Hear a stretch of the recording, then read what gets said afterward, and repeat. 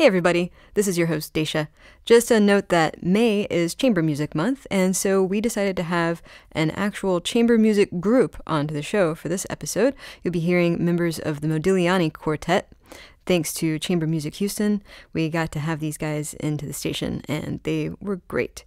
Also, uh, because producer Todd has outfitted the studio with a new flux capacitor, we were able to travel forward in time to bring the music from the following day's performance into the show. So effectively, when you hear these guys in this episode, they are talking about a performance which they had yet to play. Mind blown. Also, just a note that you can hear us on iTunes, SoundCloud, Stitcher, and TuneIn whenever you listen to us, however you listen to us, make sure to rate and review us so that classical music and classical classroom can rule the world. also, you can follow us on Twitter and Tumblr. Now for our show. My name is Dacia Clay. I'm the audio librarian here at Classical 917. While I'm a real librarian, I have a deep, dark secret very little about classical music. I grew up listening to rock, and I know something about jazz. But when it comes to classical, but I really want to learn. So, every week on this show, a classical music expert will give me a piece of classical music they think I should know, and then we'll discuss it. Come learn with me in the classical classroom.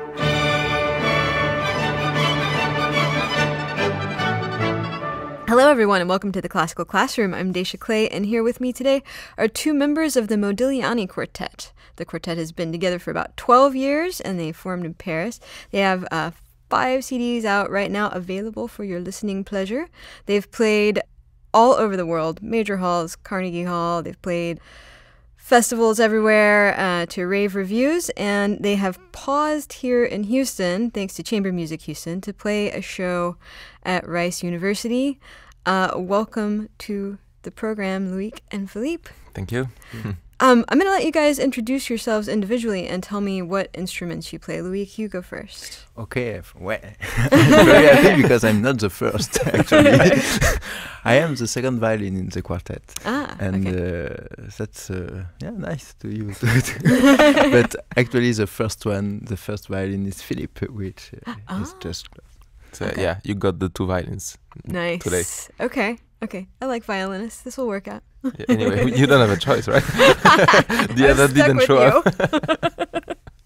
well, um, so I know one of the pieces that you're going to be playing tonight is, um, and I'm going to botch the conductor's, um, composer's name. Uh, it's Erno Dohnányi's Quartet Number Three in A minor. So I'm hoping that you can teach me about the composer and this piece.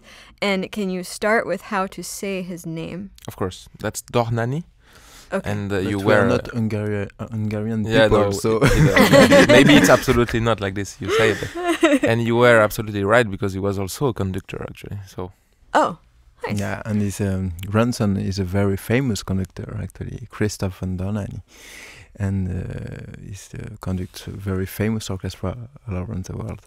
But Ernio, uh, Ernio, it's difficult for French people also to pronounce Hungarian name. Uh, Dohnányi was a um, very famous uh, conductor, Uh-huh. pianist, composer, and teacher too. He was uh, living in um, Hungary, in Budapest, in, and he was um, very, very famous in the beginning of the, the 20th century uh, in Hungary. Okay. yeah, And he was born in 1877, Yeah. Uh, so extremely contemporary to Bartok actually, which is Mhm. more, more famous than him. Yeah. Um, and uh, he actually spent most of his life then in US uh, because he lived in New York for a lo- very long time. And, And in Florida. Mm, and then- my- In Florida? yeah, Yeah. for the weather. and uh, I think he's he's more known in, in US than he is in, in France even because he yeah that's this kind of people which uh, despite they had a, a wonderful career and a very complete career uh, didn't go through um, time and posterity people don't really know and play him while he, he really created very beautiful pieces, very wonderful pieces even. And uh, that's that's actually why we put the, this kind of piece in our programs because mm, it's extremely rare to hear it. Uh-huh. Also, not so many recordings from Mhm. it. A few, especially American quartets, recorded it. Mhm. But uh, it's always for us very interesting because most of our audience actually discovered the piece while we played. So it's a very nice thing for us and the audience at the same time. Yeah, I, I had never heard the piece before I started preparing to talk to you guys, and You it- prepared it? I, I did. Believe it or not. Um, so why like so he's lesser known. He's uh, and you're kind of you explained that, that he's he's sort of somebody that you want to show the audience because he doesn't get his work doesn't see the light of day very much. What else do you particularly like about his work? Like what what about it appeals to you? Well, I think it's there are very different influences in it. Mhm. Uh, obviously, uh, uh, his homeland, which was at that time uh, Autriche-Hongrie, Austro-Hungary, Hungary. I don't know how you say it. It was Uh-huh. still when the, there was the you know the empire of uh, Austria-Hungarian em- empire, and uh, so of course the, there are all those uh, Eastern European culture uh, influences which are very present in his music, but Mhm. also everything he he met in United States.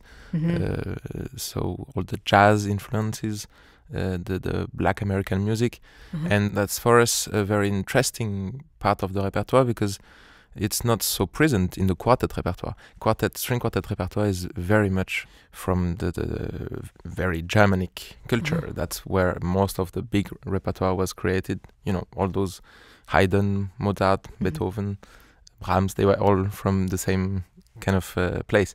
So it's uh, it's interesting and, and also it's uh, a music which is very nice for the audience to discover because it's extremely easy on the ears. Do you say Mhm. that? Mhm. Yeah. I know we say easy on the eyes, but I, I say that. Yeah. So I tried it. uh, Loic, what about you? What do you What do you? I like like about it? uh, a lot this uh, this music because um, we can um, feel transported in uh, another time Mhm. actually between between the um, the two world war and um, in the spirit of the black and white movies and and um, for example the maybe the first quartet we recorded uh, this quartet was the Hollywood String Quartet with Uh-huh. musicians who were fr- apart from the uh, they were solists in the the studio orchestra in LA and we can feel this um, this old uh, belle époque we call that in France Yeah. it's, and it's also so we have beautiful tunes beautiful melody and also a very um, big dynamic uh, rhythmic dynamic Mhm. all uh, along the, the the piece Yeah. Well, we should we should hear some of it. D- um, should we just start at the beginning? Is there a particular point that you'd like to start at in the in the piece in the piece? Yeah. the second violin solo please there is none. there is one uh, but well, that that depends entirely on, on your choices. The, the the three movements are very nice. Why don't we just start at the beginning? We'll listen to a few Okay, minutes, and you can course. kind of talk about what's going on. Of course. Okay.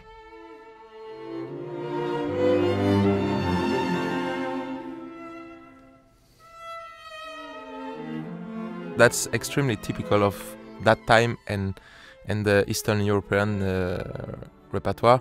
This very strong start of the viola.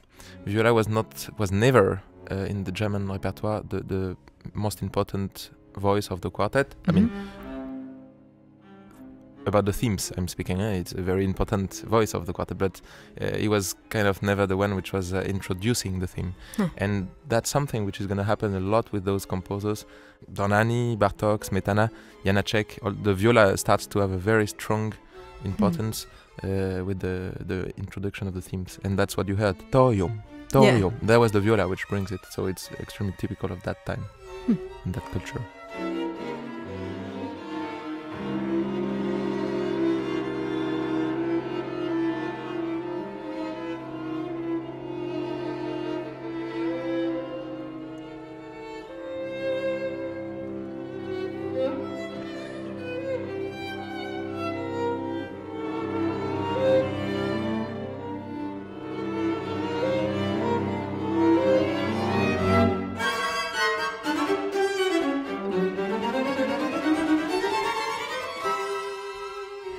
Reminds me of music from an Alfred Hitchcock movie. Yeah, it's exactly that. Completely. You you really can put images on on this music, Uh huh.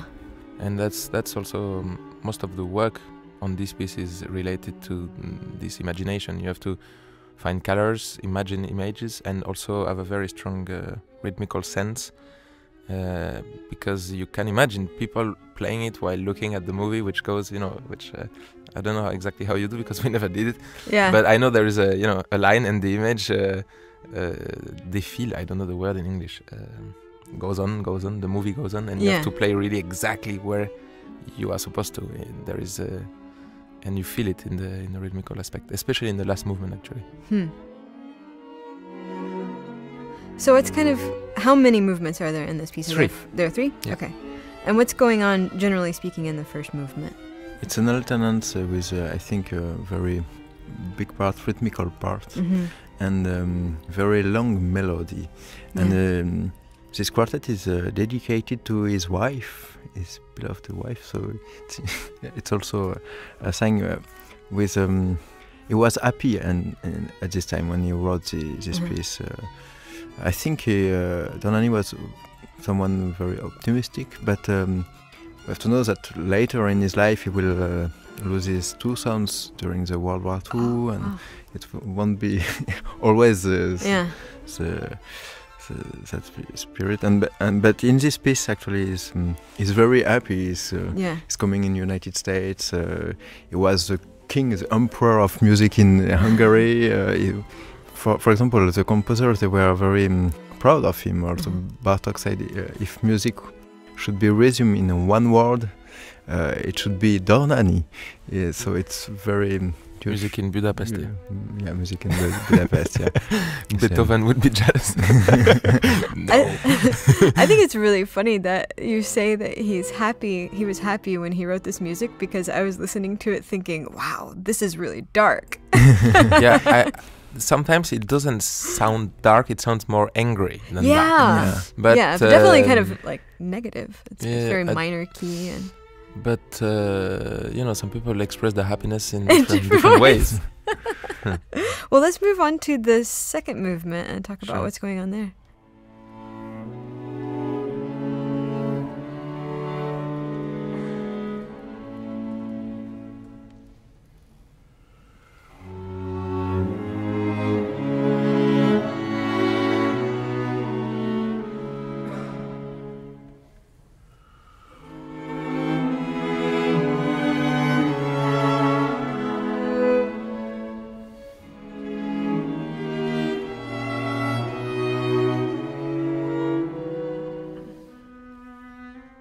This uh, this movement is a, a bit like a, a choral. hmm You know, the, the, do you use that word too? Choral. Yeah. Yes, and uh, it's uh, it's indicated um, religioso, which means uh, religiously. Uh-huh.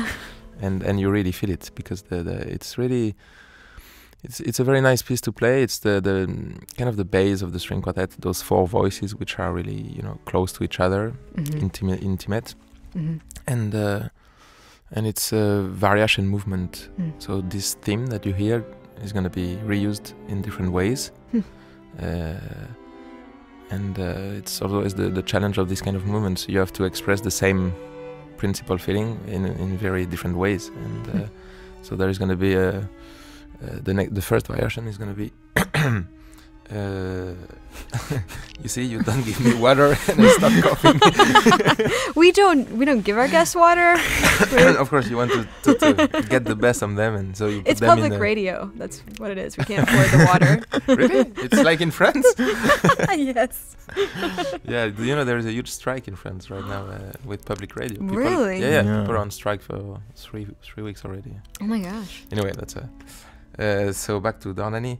Um, so there are going to be yeah different vari- variations. The first one is going to be uh, uh, it's the one you're just hearing now, uh, where Dohnányi plays with the the rhythm. He he uses again the viola to, with a very different rhythmical line than the three other instruments, which Mhm. make kind of a, a feeling of uh, you know un how do you say uh, unbalanced uh, rhythmically speaking. Mhm.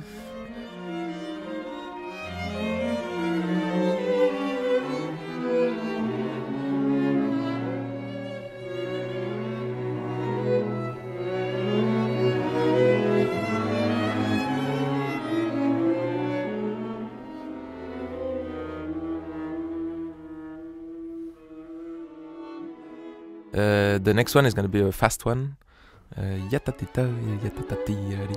uh, which is going to sound a lot really happy, like uh, vivace. Loic uh, was uh, was saying.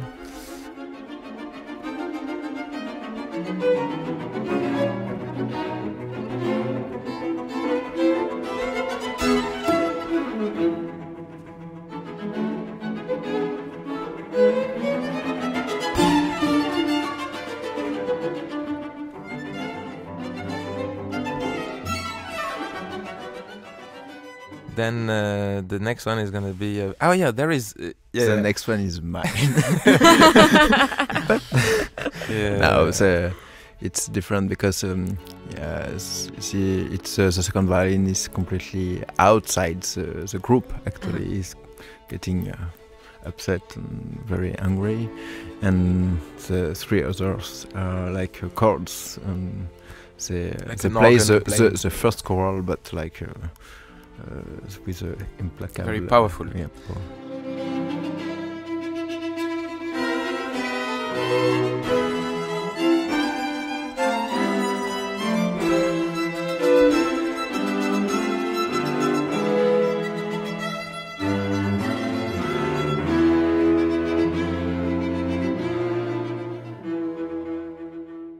and uh, and then the next one is going to be a very soft theme from of the viola, which might be the, the also the place in this movement where he expresses his love his love for his wife. Extremely tender, extremely nothing uh, harsh in there.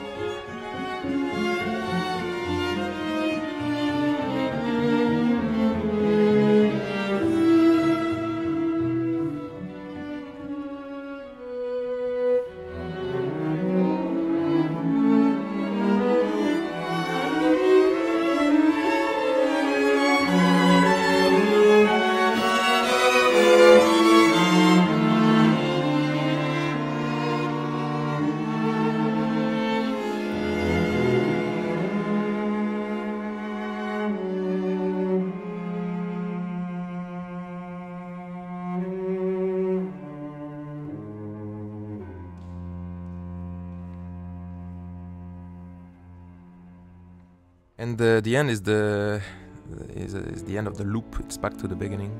Okay. And a closure uh, with this beautiful uh, religious uh, theme.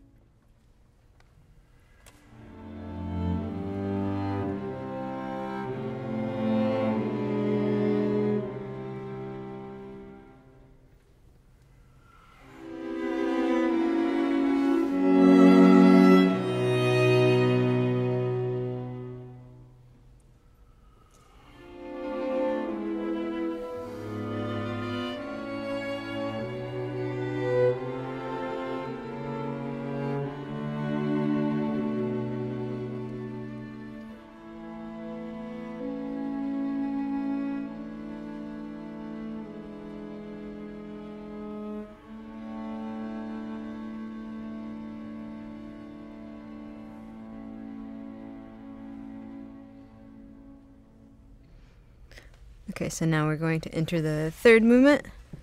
Yes, absolutely not the same spirit.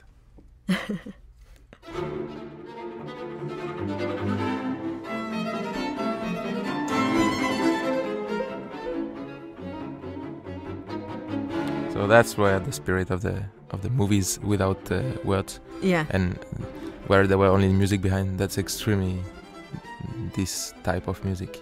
Yeah. Very strong, very you know, fast and and with a lot of characters, uh, surprises, and everything. Mm-hmm. Could be a cartoon almost. Is it fun to play? It sounds like it's it very fun. Really yeah. fun. It's very fun.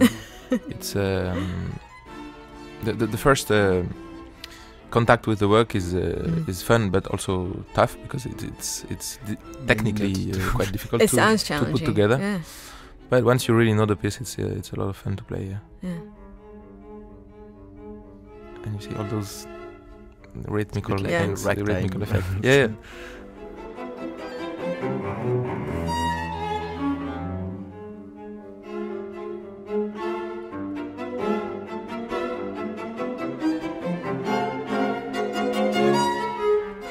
That's why everything has to be really precise rhythmically because Mhm. if not you lose the the main effect of, the, Yeah. of, of this piece It's very dissonant and kind of all over the place.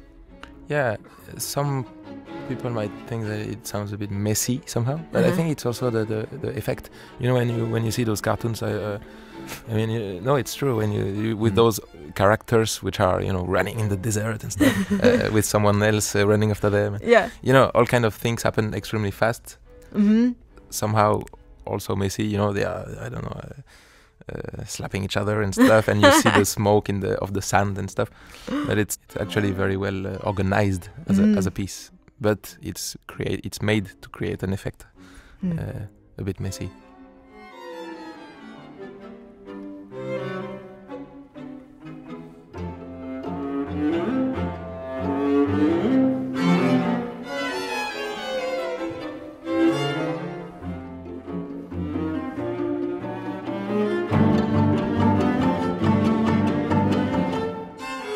He's dedicated this piece to his wife, and I just keep thinking, I, I'm being, I'm, I'm sure I'm being too literal, but, but what is this saying about his relationship? Yeah, I understand what you mean. But, you know, I think it's more it's more complex than that. It's Yeah. it's not like a poem where uh, you Right. really, you know, if you write uh, ten lines uh, about your wife, of course you're not gonna uh, speak about the, the messiness of your relationship. But I think in in music, it's uh, I think the the most the, the principal theme, which is extremely tender. And extremely optimistic is about that. But then you know, Yeah. when you write a half an hour piece, a half a half an hour long piece, uh, you have to find ideas and stuff. So you can't say I love you for half an hour. You just have to Right. really, you know. Uh, Well, maybe that was indicative of their relationship. Maybe. well, maybe, she it was, a very active woman, you know, and uh, Well, you- maybe it was like you a know you know tumultuous relationship. Maybe it was it was exciting. And, No, yeah. but, uh, I think we um, we forgot uh, what it was actually to go from Hungary to United States, Uh-huh. and um, we just arrived in Uni- in US yesterday, and uh, we just just have a ten hours flight, but it's nothing compared to th- to this time. It was completely you had you had to leave all your stuff in your old country to Uh-huh. go uh, by boat to, to Yeah. cross the ocean. That was completely. Uh, I don't know how many months to to yeah, or and weeks, then- but it Mhm. was completely different, and that was much more adventurous And um, And it is And, now. um, And you arrive in a country, US, which was, you know, with all those industrial things which were uh, extremely active in comparison with uh, the old Europe at that time. Mhm. So I guess it's also a mix with his impressions of the of the country, of Hmm. his life at that moment. It's not only about his relationship. Yeah. yeah. Well, I mean, and human relationships, you know, they take place in a in a place too. I'm sure this is, you know, Yeah, and you know, maybe he was just also very happy about the piece, yeah. and he dedicated to the people he, to the, the person he loves. hmm It, it's not necessarily necessarily About her. that it's a, a mirror of their relationship. But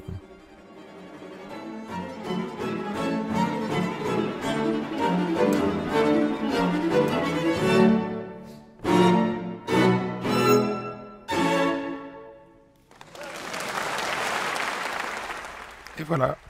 That was so cool. yeah, it's a very, it's a very cool and very, very fast, very exciting. I like that. I like that a lot, actually. You know, it's, he he's actually we have a really large CD library here at the radio station, and uh, we literally didn't have any of Dohnányi's work.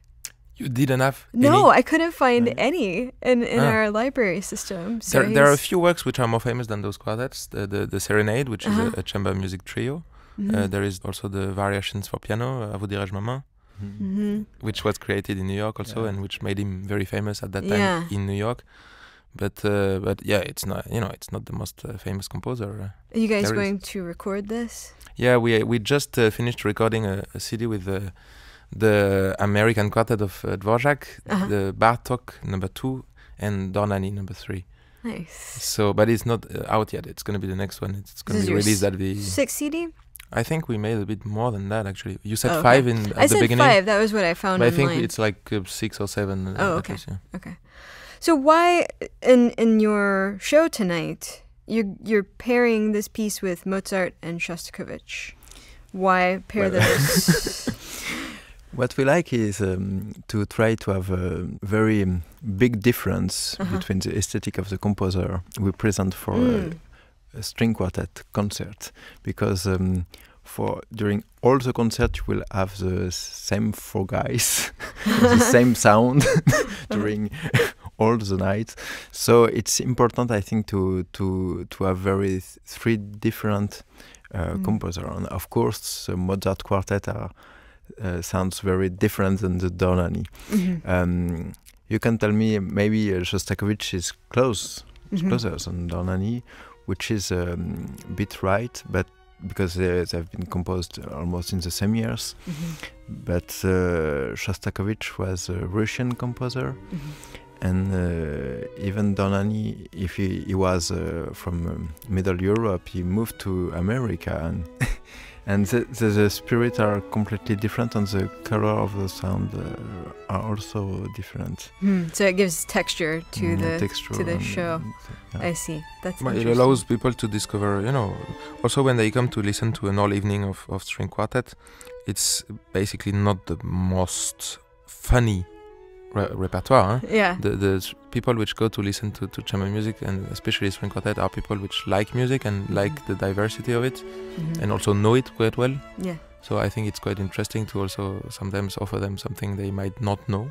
Something unexpected. Because for example, the Mozart quartet, it's um, of course it's part of the, the big famous, and uh, you can get around it uh, as a string quartet. You have to play, Mhm. uh, so the audience knows them also quite well. Yeah. But when you bring a Dohnányi, it's also something new for them. And the Shostakovich is uh, very interesting because it's uh, it's very not typical of the of what people expect from him because he, he wrote 15 quartets Mhm. and the first one, the one we play, is actually the only one which is not like the, the other 14. Yeah. It's the only one which is very bright and, and, and very optimistic. And from then on, it's going to be a, a slow uh, It's downhill. going down to hell. Yeah. wow. Well, uh, so tell me a little bit about the quartet. I know you guys were friends in Paris. We were. At least that's, That's the story that you're selling online. That's uh, so. Um, I'm interested in the name. So Modigliani, the Ah. artist, was the guy who, during the early 21st century, or yeah, 20th century, sorry, uh, painted this sort of elongated figures, and a lot of them had the sort of creepy blue eyes. So why that? Why that? Choose that for a name? yeah, not not exactly because of the creepy eyes and the long necks, but more more about um, the fact that he has a very strong style of his own. Yeah. he was he was painting at a period at a time where uh, styles were going changing uh, extremely fast because people were expecting you know uh, they were asking painters even the most famous one to to do some different stuff and so for example if you see Picasso which was maybe the, the, the most gifted painter of his time you you see how often he changed of style Mhm. from one to the other. And Modigliani was living this uh, very exact, exciting phase with a very different uh, approach of his art. He was uh, actually really going through with his opinion of Mhm. what was his style and his vision of, of painting. So it gave him a very strong personality. And if you see one Modigliani, if you see another one in you know five years later you, Yeah. you recognize it well if Mhm. you see uh, picasso from the cubist uh, Mhm. time then somebody is going to show you a Braque of the cubist time and you're going to be okay I, Yeah. don't, I don't know anymore and Yeah. even and even people which are extremely not famous uh, there is something uh, you know. Why? And we thought as a string quartet, the the, the main challenge is gonna be to to create create our own sound Mm-hmm.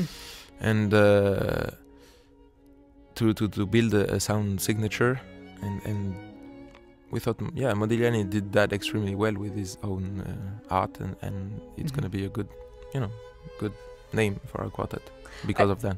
Are you guys spending any time in Houston while you're here before you move on to the next city You mean are we gonna go to the Houston Museum of Fine Arts? and see the Modigliani? yeah, there's the in the sculpture garden. There's one of my favorite sculptures. Is, Yes, uh, he, he- he started as a sculptor actually, but he, Yeah. he had some lungs problems, so he was Oh. getting sick because of the the fine uh, powder uh, which uh, Oh. comes out, so he had to stop and No, but in Houston, we wanted to stay because tomorrow they will play uh, the Houston Rockets uh, versus uh, Spurs, uh, San Antonio. yeah. and Tony Parker is a very famous French player. He's, uh, in the Really? San- But San sadly, we're gonna miss it because we yeah, are leaving for uh, to for a, a, Oklahoma. a city uh, nobody knows, which is called Tulsa. Ah, Tulsa. Yes, I've heard of this place. Yeah, everybody have heard of it, but nobody have actually been there. That's true. so we've never been there, so we are uh, we are happy to discover the place. But but sadly, we, we we're gonna miss the the game. Oh, that's too bad. Watch it on TV. I Mhm. guess. But that's not the same. You know it. I know, I know. Well, uh, yeah, I was gonna ask you guys what you thought of Houston and what you've done and all of this kind of stuff, but you just got here. Yeah, we just got here and we don't say long, but no, no, it's No, uh, we- but you know, it's a nice place. Uh, we we went out yesterday. We discovered that there were so many different beers around here. so much beer. Yeah, and Yeah. it's it's very uh, it's it's very nice for us because we like beers. we like to discover them uh, all around the world. So that was a part of our evening. The, we ate a very good burger. It seems to be also a good burger place. That's um, what they say. Yeah. and uh, but but regarding the city, you know, it's so wide and spread that it's it's it's. Uh, we were looking for kind of a historical center to walk Mhm. in, but actually, I don't think that there is. Uh, There are Any? several centers. Yeah, it's like you know, the, the, there's like the the museum district, and then there's the downtown, which is actually built up a lot and kind of really nice now. But but yeah, it's a very decentralized city. yeah, but Yeah. Uh, but but it seems uh, it seems a nice place to live, but uh, it's a place we're gonna live in Ah, short time. sadly. well, good luck with your show tonight. Yeah, thank you. And if you get to stay here in Houston for any longer, I hope you have a good time. Thanks. uh, Um, it was great of you guys to come in. Very nice to meet you. Same Philippe. Yes, You well should said. say your, your last names. I don't think we ever even said your last names because I'm scared too. and I'm Okay. Philippe Bernhard. okay. All right. Well, thanks, guys. Uh, thank you so much. Thanks. Eh ben voilà. All right, everybody, that does it for this episode of Classical Classroom. For more Classroom, go to houstonpublicmedia.org slash classroom. You can also find us on SoundCloud. Listen there or on iTunes or on your Stitcher or TuneIn mobile apps. Or you can listen to all of them at once for a totally Dadaist listening experience.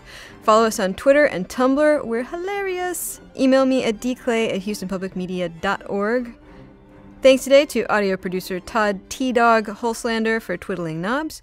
Thanks to program director Sinjin Flynn for his close talking. Thanks to editor Mark DiClaudio for his piercing, unblinking, stare stare booger bear eyes. Thanks to the Modiglianis, Philippe and Loic, whose last names I will not attempt to say because I will butcher them, for stopping by today. Thanks to me for saying words, but most of all, thanks to you for listening. We'll catch you next time.